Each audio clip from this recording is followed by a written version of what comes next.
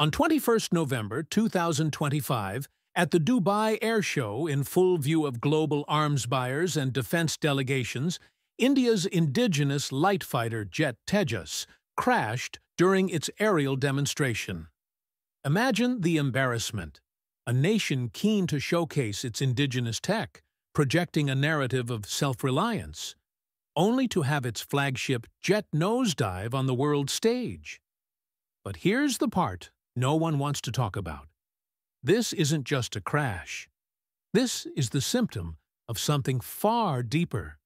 Because Tejas didn't fall due to some dramatic engine leak, it lost control during a low-altitude maneuver, a mistake that should have been caught, tested, retested, and engineered around. If you have a system rooted in science. But look at what's been happening inside that system. The DRDO, the same institution behind Tejas, once signed a collaboration with Baba Ramdev's Patanjali to market herbal remedies under its banner. Nothing against herbs, but when a nation's premier defense research body starts drifting into unproven wellness cures, you have to ask, is science still steering the ship? And it isn't just one institute. In 2018, JNU made Rajiv Malhotra an honorary professor, the same man known for publicly promoting ideas like tracking people across reincarnations. At IIT Mandi, Director Professor Lakshmikant Behera has drawn criticism for endorsing exorcism practices and attributing natural disasters like landslides to meat eating, positions far outside scientific consensus.